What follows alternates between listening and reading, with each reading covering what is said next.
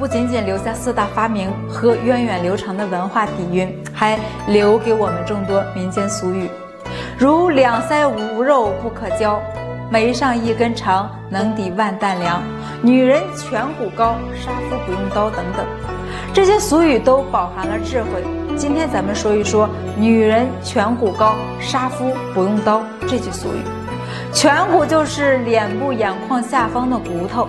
这句俗语的意思就是，如果妻子的颧骨过高，丈夫就没好日子过了。妻子颧骨高为何影响到夫君呢？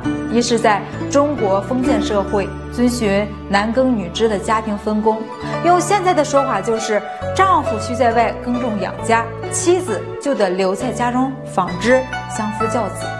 所以，这样的家庭结构中，男性是主要的收入来源。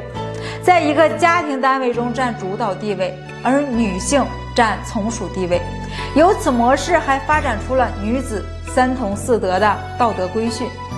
三从是夫嫁从夫，即嫁夫从夫，夫死从子；四德是妇德、妇言、妇容、妇功。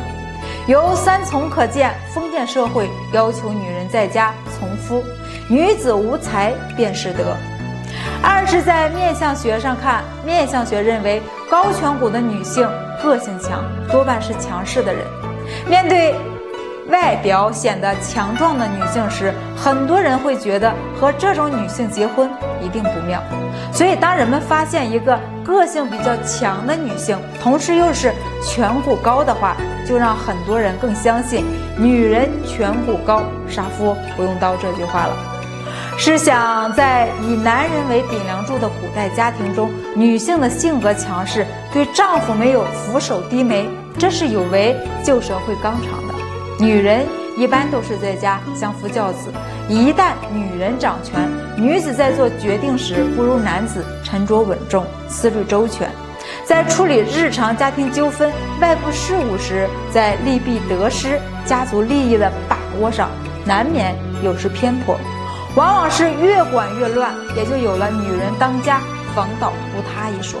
当然，这也是古人的一厢情愿。从这句俗语，我们不难看出古人的智慧，有时候真的不成器我。读一读古人智慧，可以让我们学到很多经验。好了，本期视频到这里就结束了。我是月影，关注我，和我一起传承。